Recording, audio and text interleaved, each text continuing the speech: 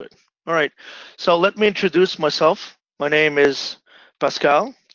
I'm actually a business development manager for North America.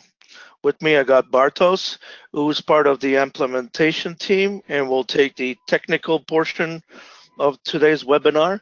And I got Conrad Russ, VP of International Sales in at XTRF. Right.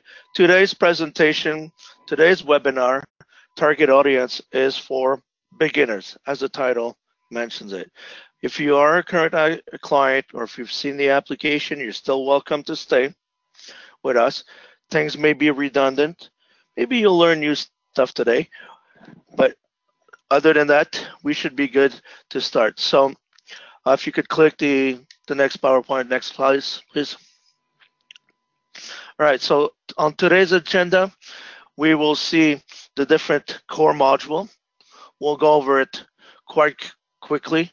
Want to stay eye level. I want to make sure that you get the information. We try to keep you entertained.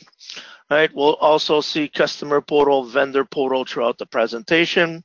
I'll briefly talk about the different style we have in our system. We got two track, two two angle. We got the classic angle. We got the smart project angle. This is really the one we will focus on today. And then we'll look at different aspects. So basically how to automate as much as possible with the system, how to apply workflow, the different ways we can use pooling. This is quite unique for, for our application in the market in there. Okay, so uh, Bartos, can you move to the application, please? All right, full screen, please. All right, so on the screen, what we see, we see on the left side, we see red panel, and we see on top, black panel. All right, the, black, the red panel are really the different module, car module that we have in the system. For starter, we got the dashboard. So in the dashboard uh, view, this is where you could set it. And this can be set by user, right? So when you log in in the system, you need your credential. This system is hosted on the server, so as long as you have your credential, being a web-based application, you'll you'll have access to it. You can have multiple user in the system, and each can set this up to their own view, their own needs. For instance, if you are a manager in the company, you may want to bring focus to ongoing activities, to invoice, to quote.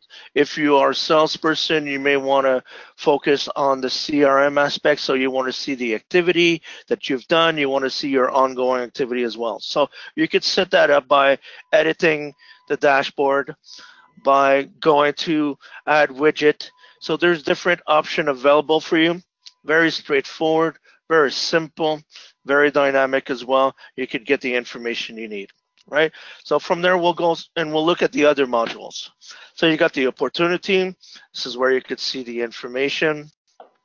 You got the quotes. This is where you could create your quote, search for quotes that you've done. Project, this is where you will find all information related to project. You could create a new project directly from there clients. This is where you got your client record, vendor as well. This is where you got your vendor's record. This is where you could go search for vendor, have a quick view of what's going on with your vendors, right? We see a fine example here. We could see all of our vendors, uh, avail availability, productivity, right? And then back to the red panel, we got we got invoice, you know that CRM. That's a very nice tool. We have a full CRM functionality, so you could track your activity. You could set up upcoming activities with reminders. That's very good. And then you got report. Report is extremely, extremely powerful functionality in our system. The rule is simple. If the information is in the system, if it's in the database, you can pull a report on it. And if there actually, we could even do more than that. If we forgot something, you guys can even create new tabs, right? And you, you can make these tabs available for report as well. Now we're looking, we see a bunch of reports that are out of the box available. So again, the rule is quite simple. If it's in the system, you could pull a report on it and you could put different dimension to this report. And on top of it, some report, most report can be emailed to you, time, date that you want. So for instance, if I'm a manager, I'm a project manager, I come in in the morning, we start at nine. I usually get to the office at 8.30. So I want an, email to be sent by the system at eight o'clock with all ongoing project status. I get in, I get my coffee, I'm ready for my day, open my, my inbox, I got my reports, I got a snapshot. I could do that as well. Or I could I, actually, while I'm driving to the office or commuting to the office, I could receive this. So I look at the report on my mobile device. All right. Now, if we go to the black side, so again, red, this is module. Black, this is really for action, direct action. So we got the search box. Search box, this is a very nice functionality. Well, in there, I could go in and I want to I want to go directly to a certain rec record. So let's say um, test vendor or things like that. I could go directly into it. I find I find all the information for it. I could click. I want to look at a certain customer. I got, just type in. I go directly to it. So kind of a quick way to get the information. And if you're not quite sure, you could type it and you see different results. So you could pick on those results. All right. Next, we got the add button. So basically, this is a quick way to start a project, add a client, go you go directly to there so you don't need to go to the red side. And let's say for I want to add a client go to client you go right there click add client and then it, the system brings you directly to the, the right module. So kind of a shortcut. Beside it. Beside it is one of our very important functionality. These are our alarm right?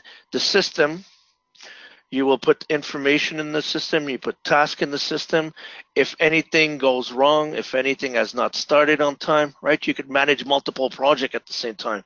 Well, the watchdog will basically notify you if a status is not met, not started, not finished on time, it will create an alarm. So you'll see right now we got 14 and it will also create a pop-up as you see right now on the screen, giving you the information, right? So this makes it that you could work on your project, you could give us your instruction, you could run project, move on to something else, and while the project goes on, we got your back. We're there to actually notify you if something went wrong or if something is accomplished.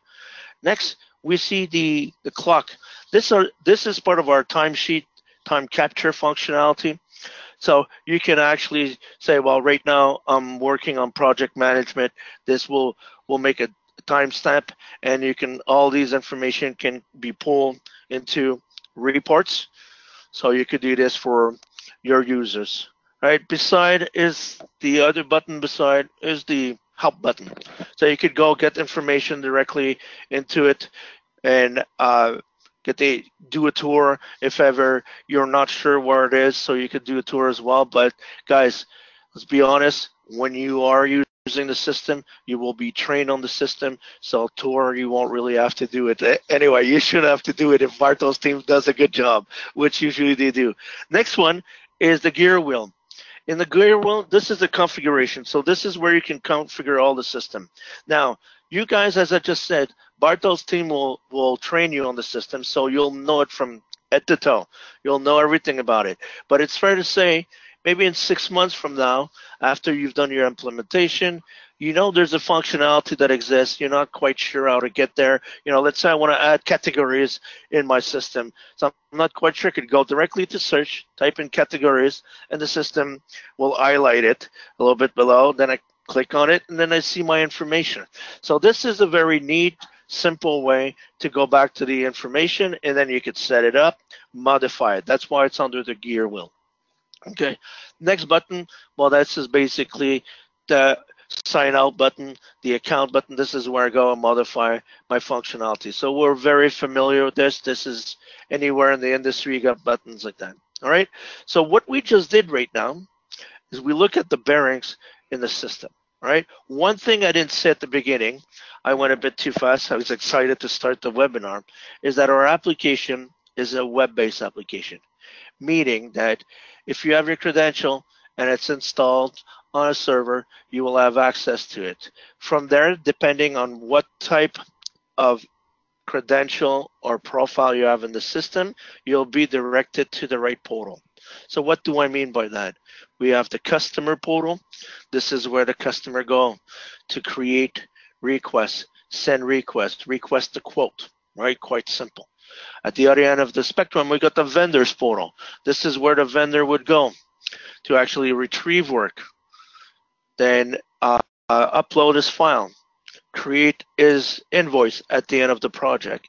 And in between, we got the project project manager slash home portal. This is where you control all of the system. This is what we are basically logged in right now as a user. So to have access to all of these module, this view, you need to have a user access. Now, our licensing model is in line with our portal. So we got client license, we got resource license. These licenses are free and unlimited. The only thing we look at is the number of user license you need and this is how we will create our our quote and base the system on it. Okay. Now we will start the presentation of the smart project, but before we go into that, there is actually two track in the system. When you buy the system, you have access to both of them. You got the classic project angle track, and you got the smart project angle and track. The classic and the smart, what's really the difference? Well, to start with, 95% of your project will be done with the smart project, right? One view, one page, you go to it, project that are redundant, project that are simple, project that are quick turnaround, smart project. You'll see it, everything in one page, you move forward. The classic project uh, are, pro um, are project that you may have multiple source language, right? In in Smart Project, one source pro, one source language, multiple target language. It's not a problem. Classic, you could have multiple source, multiple target language as well, and project that require detail um, detailed phasing of the system of your project. You want to make sure that it's step by step by step. Well, this is classic project. But again, we've all been doing this for a long time, and we know most of the project are pretty much well, in most companies like that, pretty much the same. You got three to four scenario, and these scenario are the one that always comes. So the smart project angle is the right way to go right? We will show you in a second. Bartos will take the floor and show you this project. Now, once Bartos is done with the what is part of the presentation, just let you go, you guys know, it will come back to me. We will open the floor for questions, and my colleague Conrad will help you with Bartos to answer those questions. Okay, so Bartos, please take the floor. All right, uh, thank you very much, uh, Pascal. As already introduced, I am the uh, part of the implementation group. Uh, we are the ones that help trainings in XTRF and we help people get familiar with XTRF uh, through uh, the implementation stage. So uh, to begin with, uh, Pascal already mentioned the customer portal. what I'm going to show you and start with is actually a quote request form. It's the a similar feature, but it's not customer portal is dedicated to the your client that you're already working with.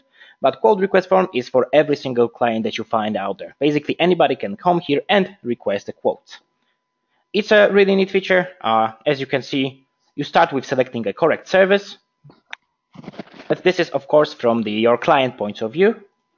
Select certain specialization languages in which we want to request a form, and of course, the most important, file. After selecting of the file, XTRF can already present the estimated cost to your client, and the word count. Uh, uh, scope of work and note is the additional fields in here. I will not fill them, but of course it's possible to add them. Uh, then we need to add the email address and the full name of the company because as I've mentioned, this is the feature uh, targeted for new clients, so uh, we need to know how to contact you back. That's its full name, so it's my name and the company name. Let's make it this way. After pressing request a quote, uh, project manager or salesperson responsible for this quote will be notified automatically that there is a new quote waiting in the system. But I know that it's coming, so I can show it to, to uh, right to you right now. So let's go to the quotes module, the one that Pascal already mentioned. And here on the top of the page, we can see there is a new quote waiting for us.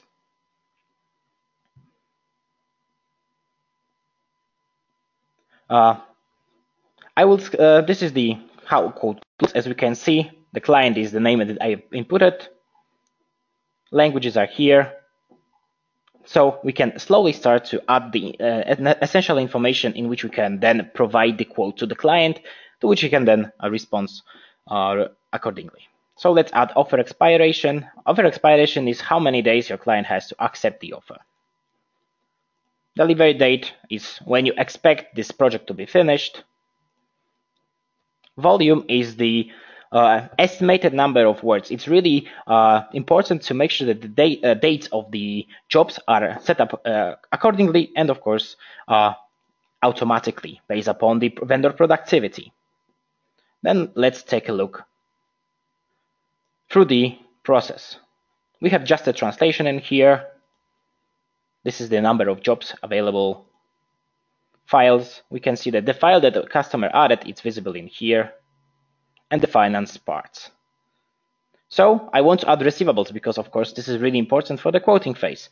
But due to the fact that we have uh, added a MemoQ integration with it, we don't really need to do anything. As soon as I create a project in MemoQ, XTRF will do, will do this for me. So right after it will be finished, I'm already uh, ready to send a quote to, to my client and see whether uh, they accept it or not.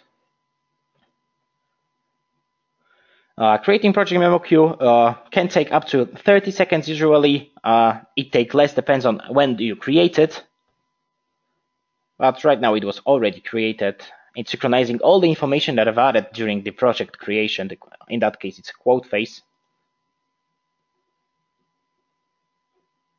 Let's take a look. It's still assigning vendors. As you can see, it takes the correct uh, correct translation memory, correct uh, uh, all the correct resources, and creates bilingual file, but it's little more uh, too many details in here. Basically, all that is important for the uh, MemoQ project will be here. What, of course, is really important is the cost of the project. In that case, uh, we have total agreed. This receivable and the amount of it was created automatically simply because we create a project with the MemoQ integration. So what's left to do is just to send a quote. The quote confirmation button is on the right hand side. Let's just send it. So let's now let's switch roles again. Let's uh, pretend that I am the client that received the quote confirmation.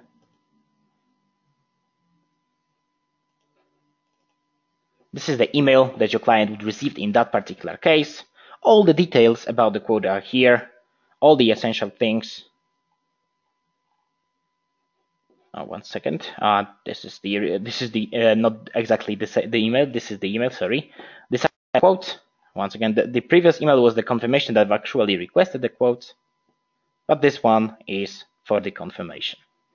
So I can accept or reject. In that case, I, I, I agree. This price is reasonable. I think I can continue working with this company the confirmation that the quote has been accept accepted and there will be more contact coming soon is given to the client and now we can go back to the home portal. So let me refresh the page. Of course, uh, refreshing in that case is really necessary because we are doing it in a uh, sort of a rush manner. But uh, in the real case scenario, you will not need to do this. Uh, the status of the quote is approved and the project was already created based upon the quote. So let's move to the project. What's really important is that all the information that you gathered during the quoting phase, so volume, the deadline, uh, files, uh, if you decided to assign vendors during the quote uh, phase, they also uh, are still assigned. So basically all the work can be done by now. You can already start the project. But let's see what is still necessary to do. We can see the languages. Of course, selecting of the vendor is one thing.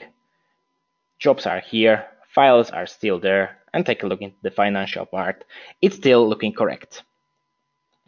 So basically, what's left to be done now is select the correct vendor. Uh, so when it comes to XTRF, there are basically three ways of doing that. You can just uh, uh, point to somebody and tell the vendor, okay, you are doing this job, but in that particular case, you need to make sure that this vendor knows that uh, at this time, they need to be available for the translation or proofreading. The other two things are involving job offers. So basically the request for the job, so whether the vendor is available in that particular time or not. So here we have two possibilities. Uh, let's talk about vendors manually, this one first. So basically uh, you open your whole uh, uh database of vendors, which can be really huge in XTRF, and you decide that those 5, 10, 15, 20 vendors will receive the invitation right now. You add the time for the uh, deadline of the offer and you send the invitation. Uh, but the one that we really like, the thing that is really makes the, all this workflow automated is the select vendors according to role feature. You define the role in which XTRF filters out those vendors. Uh, so first of all, you decide, so uh, I want to only uh, this time uh, of, send the offer to freelancers only. That's a kind of possibility. Of course, you can do it other way. It can be only in-house. It can be all, only uh, agencies. Then you define how many vendors per how many cascade they should XTRF should send. So let's say I want to send, I think, three vendors every 10 minutes, 10 times. And then you decide whether you should be uh, uh, sorting those vendors through cost. So the cheapest is the one on the top that will receive the uh, uh receive the invitation first. Or maybe uh, should I go with the quality? So overall or specific or specific uh, vendor evaluation. After defining those settings in the XTRF, this rule will be visible in here. And then you can select it in here. I will. I think that in my case, I will just use one vendor every 10 minutes. As you can see, all the cascades are available in here.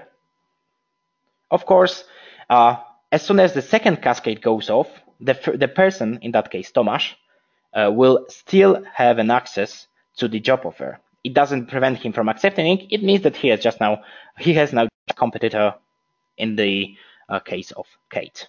So let's send those job offers. If you take a look into this uh, brick or this step, it has changed to green status and we can see clearly how much time is left for the vendors to uh, finish all the cascades. To see to whom I have, I have sent the offers, maybe I've just do it too fast and I want to double check to whom it was sent, I can easily press on the job offers and see who is the person that will receive this particular uh, job offer. So let me show you how the offer looks like from the vendor perspective and how the vendor portal looks like. So we are going back to my email. This is the email that will your vendor will receive. Again, here is just a short notification that there is a, some kind of job waiting for you. And please go ahead, open the link in which there will be much more information added. So let me open it and let me present it to you. As you can see right now, it is in Polish language. I will change it quickly to English and let me explain you why it is set up to Polish. Uh, so to uh, make the work in vendor portal uh, or job uh, manager uh, really easy, we decided that uh, vendor portal language should switch to the, as long as the localization is available, to the language of the operating system of the vendor. In my case, this is the Polish Windows, so my vendor portal was set to Polish. But of course, I can always change it. I take a look, I see the uh, received files, everything in here. All the files can be defined to uh, the way that I can share something with the vendor or I decided to hide it from this particular phase. For example, in that my case, I have TMs. Maybe I don't want to share it with them. I see the scope, so how many words are there, and of course the overview of the job. So job type, languages, and the dates. So let's accept the offer. As you can see, right now I can already start working in it uh, in uh, in this job. Is that as soon as I press start, I'm it's the first one first serve, and already XTRF is changing the status of the project and job to started. I can open this in MemoQ and translate it there. Of course, uh, I will want to keep it too long, but uh, this is the web WebTrans feature that is available in the MemoQ integration, and then I can press finish the job and basically finish the project in my case. So let's go back to the project and let's see what has changed right after I've assigned the vendor and I finish the job as a vendor.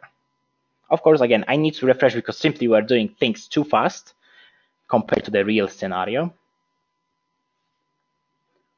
Okay, so let's take a look. First of all, the project is closed, as you can see. Some fields are grayed out to make sure that the data is intact, the really important data uh, when it comes to the project management.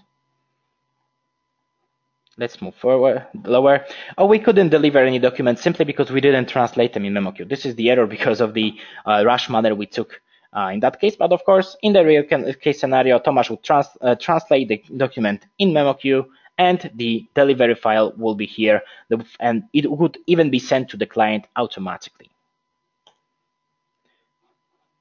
Uh, all right, so uh, in that case, we can see that the total cost is clearly uh, ahead of the total agreed. Of course, this is probably because of the, the vendor had a little bit different uh, rate, but uh, this way you can see uh, this is a little bit of exaggeration in that case that the cost really is too too high compared to the total rate.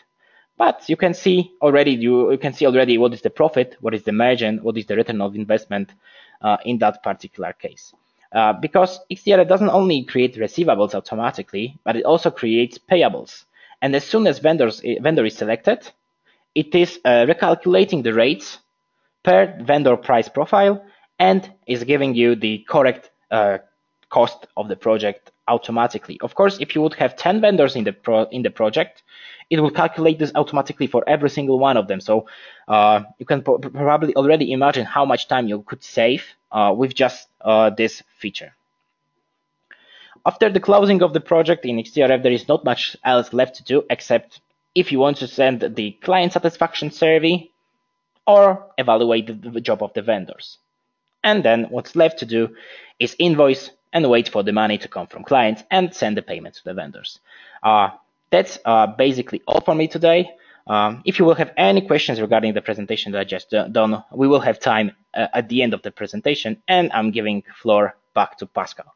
Thank you very much. Thank you, Bartos. Thank you, Bartos. That was nice presentation. So, uh, guys, a few things that we saw today. So basically, we see the application, we see the smart project, very simple, very quick. You know, you just go down the page, fill up everything, and it's there. One thing I didn't mention to you at the beginning is that we do have the module that you've seen, but we also have connectors.